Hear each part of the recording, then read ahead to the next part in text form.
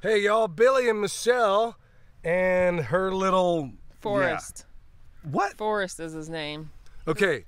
Because he runs everywhere. William named him Forrest yesterday. Okay, this I did not know because up until now he didn't have a name, did you, little guy? Anyway, he's doing really, really good. Uh, just got off the, vet with the phone with the vet, Dr. Stewart. And hang loose, we're going to have some interviews for all you folks out there wanting to raise sheep here in a couple of days. Extraordinary guy, unbelievable. But before we get into that, y'all, remember we got that butchery class coming up at the end of April, and then also into May. We're going to be skinning a, a pig, and also um, we're going to be scalding one. And the whole reason for all of that, y'all, is to give you a full breadth of everything. All right, so let's get right into it. We're doing one of the things I love to do most and that is plant trees. We're going to show you the right way to do it.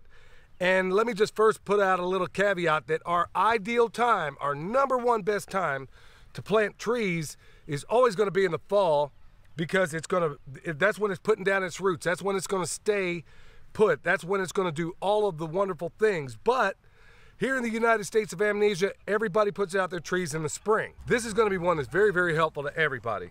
So let's, we're, first of all, alongside the driveway, and that's strategically done that way, all up and down here on both sides, flanking the driveway that needs a little work right now, are basically fruit trees, berries, edible things, medicinal things, all alongside this driveway.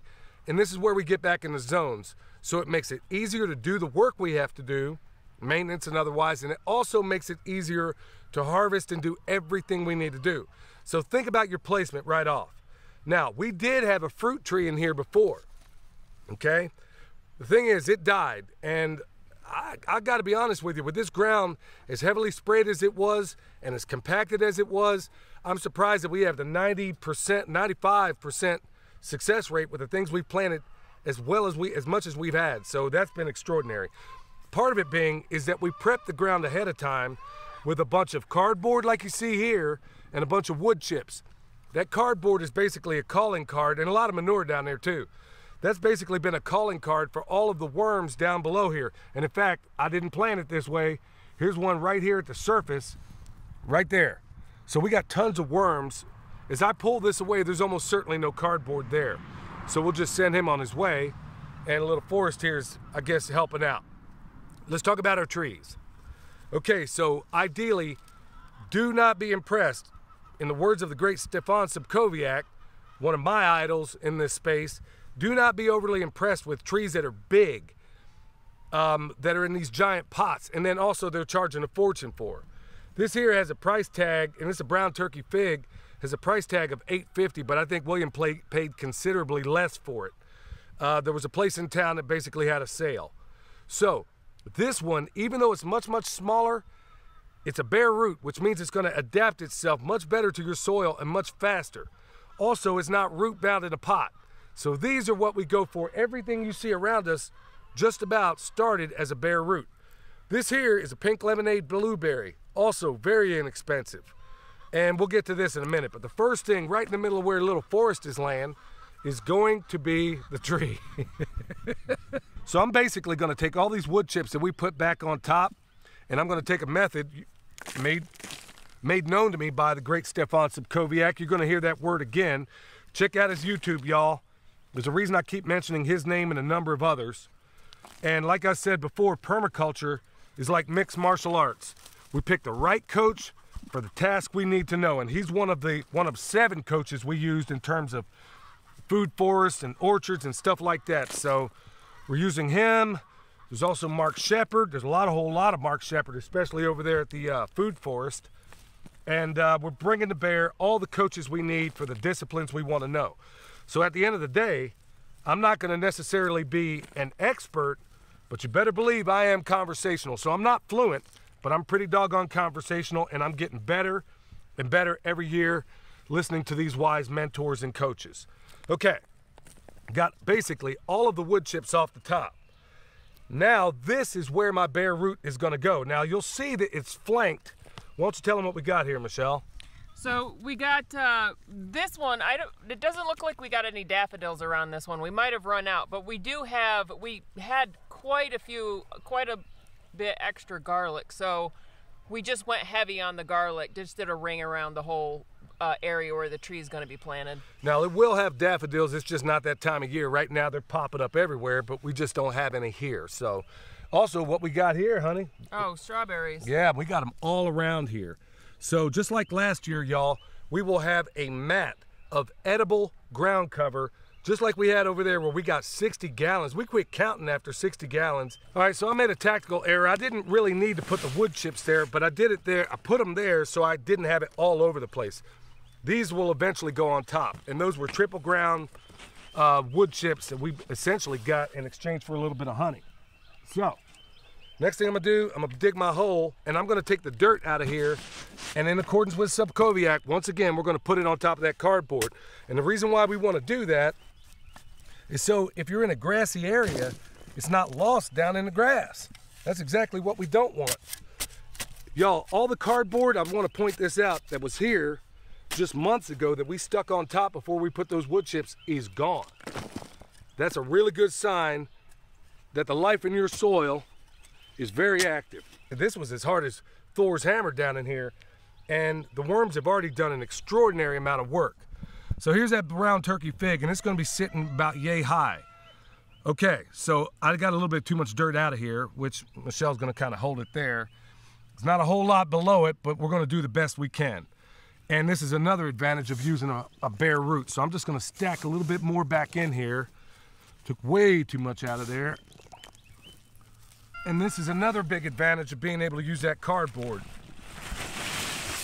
So now, as you can see, if you were in a grassy area, in no way would all of your material be down in the grass. So how cool is that? Okay. So if you have a graft union, you want to make sure that is not below ground. You want to make sure um, it's it's. I wish I had another tree that I could demonstrate it, but we have tons of videos and where we've done that. If you have your graft union below ground, and believe me, ask me how many times I've made that mistake. It's going to wind up putting all this energy in the rootstock instead of your scion, and we've made colossal mistakes in the past by doing that. So make sure you're not one of the ones that do it. All right, we're to the point now where we're ready for the cardboard. Isn't that right, Forrest? And here he is just jumping all around. First, I'm putting my cardboard within this area right here, okay? I could do it. You've seen me in the past take this thing and cut a little slit in it. I'll demonstrate that real quick, but that's not what I'm gonna do here. So I'm just gonna basically cut a hole in it or cut a slit down the middle and then cut a Y little method I came up with a while back, and then I'm just gonna make a little curve. And all I'm gonna do is push it down like so. And then the cool thing about this, I don't even want to get your little baby there, is that we could, in regular circumstance, stick it around the tree like so. And now, since we're coming downhill this way, I know it's hard for you to realize that or get that understanding. I would put the opening on the downhill side so it doesn't just fly away if for whatever reason. That's not what we're gonna do today because I'm working in a very narrow area. So all I'm gonna do is cut off cardboard and I'm gonna stick it around here, okay? And the whole reason for the cardboard is basically giving this tree a tactical advantage. I think Boy's getting a little too rambunctious back there with the little sheepy. All right, so if you gotta do your cardboard this way, it's basically put some here, here, here, and then I overlap the preceding one. It's okay if you go very thick on this. And because we are in a temperate rainforest, I'm not so worried about wetting this cardboard. If you're any other place, um, you want to make sure this is wet before you do this. So it's not wicking the moisture out of the ground into the cardboard. It's just another added um, precaution. Okay, now that we're done here, only thing I got to do, all those wood chips that I initially pulled off and I put off to the side, that's what's going down. Now, if you do have compost, which is fine. You can go ahead and stick that right in there. Figs do exceedingly well here, so I'm not so worried about it. So I'm gonna save my compost for other things that I know will probably do, that probably need it. So all I'm gonna do is take my wood chips, stick them right back on top. These are triple ground aged wood chips that we traded honey for. So this is why we don't sell our honey, y'all. This is why we use it for bartering because we get more value out of that than we ever would by selling it. Okay, so I don't have enough here, which is fine. So I have some other wood chips that I'm gonna add to it. So I'm gonna get this mulch ring a little bit higher around here. All right, so basically our mulch ring, do not just pile it up against this tree, folks. Please don't do that. You want it looking like a donut on its side. So it's gonna be, we're gonna clear it here at the base a little bit. It's gonna come out, it's gonna come out and do one of these numbers. Typically we would have a much, much wider mulch ring, but I'm not so concerned about it right now. Now this mulch here, we basically got out of the woods in, in one of our honey holes where we go to get this stuff. Okay, so we'll put just a little bit more and then we'll talk about what happens next. In a typical orchard, this is as far as you would go. You wouldn't do anything else. You just plant your tree, walk away, and then put the next one maybe five feet away. But this is a permaculture orchard. So, once again, Michelle, why don't you come over here and tell them real quick what else is going to be added to this? Because around every tree we put rosemary, thyme. Uh, comfrey, we've got some comfrey crowns that we're gonna plant. We'll probably do about four around the tree. Uh, daffodils, garlic. The garlic's already here. But let's We talk need- about spacing right quick. Let's talk about how that's going to be within the spacing. So within this mulch ring, especially if you have a vole problem, you want to make sure you put the daffodils in there because they find them repulsive. So we put like we treat it like the president of the United States. Okay, that's loaded, but we treat it like a, a, a president of the United States where they have rings of security around it. So we'll have an inner ring of daffodils, and then in a perfect world, we'll put an outer ring of daffodils. Not only because the voles find it repulsive, but also the sheep, or not the sheep, but the uh, deer, Deer. they're going to find them repulsive as well. In addition to that, we sell bone sauce. Make no bones about that, forgive the pun. We will come out here with a paintbrush and paint every single tree with bone sauce. We have found, and this isn't scientific yet, but we have found that even all of our trees that we put bone sauce on, no problem with voles. I'm not prepared to make that as a scientific statement yet, but we have noticed that. All the ones that didn't, and they were typically nitrogen fixers over here in a food forest area, um, those had vole issues. So is there a correlation there? We don't completely know yet, but we're going to plant, we're going to paint everything with bone sauce, and it seems to help in that regard as well. In the future, we're going to do so we don't put too much in here and just confuse everybody. We're going to talk about the placement of the things within the guild at another video. That's going to be another video entirely because if we do all that um, to a great extent, it's going to just kind of water down what the real intent of this video is, which is how to put these trees in the ground right now if you're doing it in the spring. Ain't that right, Forrest? Okay, so like we talked about the garlic, the only thing we're going to add right now is the comfrey. Now, that's the only thing I'm going to talk about in terms of spacing. Honey, would you hand me that shovel, please? Okay. So we use our shovel as a barometer, as a gauge really, for a number of things out here. We've talked about this in the past, and I think that was done on Patreon. We'll do it for everybody else here before long. But at certain lengths, away from that tree, we're gonna plant different things. Like I said in a later video, we'll talk about what that is. Like right here, we have a um, raspberry that's from last year. So on each side, flanked on opposite side, is gonna be a, a certain bush. Flanked on the other side is going to be another bush, and it may be a nitrogen fixer. But over here, about that same length away as the ro- as the uh, raspberry, we're going to do the same exact thing with a blueberry. So here it is, right about here. I'm going to go ahead and put in a blueberry. So we'll just go ahead and do that too. That's tape that was on the cardboard that used to be here. You want to try to get that off beforehand. Sometimes it slips by us, but I promise you, if you don't get it off, you're going to find tape. The worms will move this stuff around. You're going to find plastic all over the place. So absolutely, positively, it seems like a pain, but you're going to be you're going to be glad you took the time to get that tape off.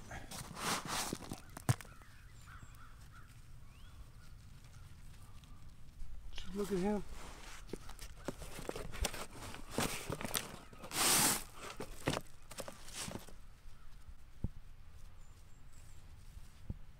Okay, look up.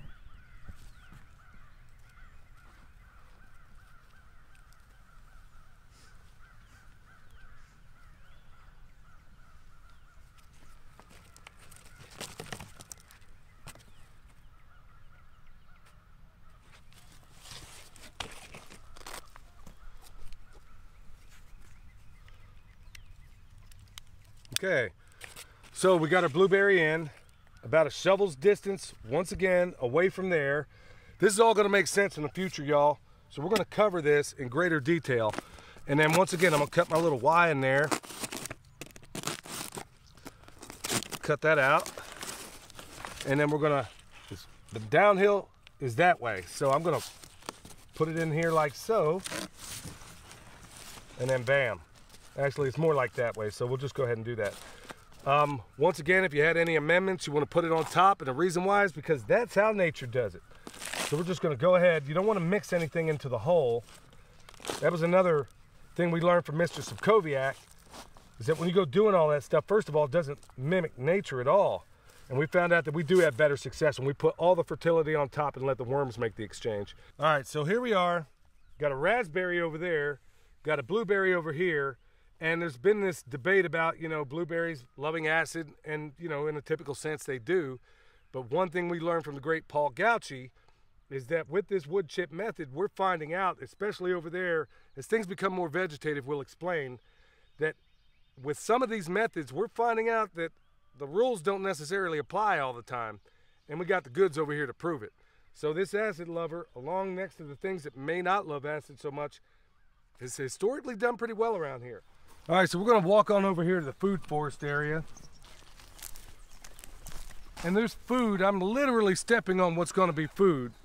Um, so we, yeah, we got a little bit of a vole problem out here, so we're gonna have to deal with that. Also got a milk boy problem because he's been digging after him. So that's gonna get dealt with too. All right, so this is where the star of the show is right now. Right now we're replacing some of the trees that weren't here. Now this is an area where we needed a nitrogen fixer. This one here is a red bud. So we have red bud, we have a little bit of mimosa, we have some false indigo, we got black locust. So we've talked a lot about black locust because it's been given such a black eye in the public and it has tons of awesome uses. Well, right here, this red bud's gonna add a little bit of, you know, variety out here in this food forest. Right now it doesn't look like much, y'all, but hold on. When spring kicks in, you're gonna see it blowing up like it did last year and even to a higher degree. So, here's a little red bud, but this is also an indication of the kind of bare roots we plant out here because you get all those micro roots and it's all gonna be a benefit. It's gonna have a higher survivability and it's gonna better adapt to your place. So once again, don't be impressed with those big trees. This is what we have here. We're not gonna do much more than put this around there and dump. Oh shoot, this thing is heavy. We're gonna give it a mulch ring. Got a little closer than I would have preferred. We're gonna give it a mulch ring. Really not much else. And then this is where we go into Mark Shepard territory with pretty much all of our trees. This is about as far as we go. We provide mulch, uh, spray milk on them every month or so. There's a reason for that. We'll talk about that later. And uh, really, if it's on its own, if it if it needs a whole lot of intervention here, just like we talked about with the sheep and the other things, if they require a constant babysitting, a constant input, then you don't want it. Because all of a sudden you go from having a orchard to something you got to babysit all the time. This is about all it will get. I will add mulch and that's it. That is a wrap on this one. So just like everything else, it's either going to make it or it ain't. And thank God we've had a high degree of success down here so far. So we'll keep thanking the Lord. And then also one thing I always do, y'all, this may put some of you out, but it, it always means something to me. I will pray over this. Sound radical? Yeah, I will pray over every single thing I put in when I remember. Yeah, foolishly I don't. But honestly, it makes all the difference in the world. I pray over everything we put in. So keep that component there in mind as well. And um, that's pretty much going to do it for us, y'all. I want to thank you so much for checking us out. Like I said, we got that butchery coming up. Check us out on the Permaculture Pimpcast, the balliness podcast out there. You want to make sure you check it out. We got that over there. Make sure you check it out and give us a five star rating. Got comfrey in stock, bone sauce, all those things. Till next time, this is Billy from Perma Pastures Farm, where permaculture is my passion. We'll see y'all next time.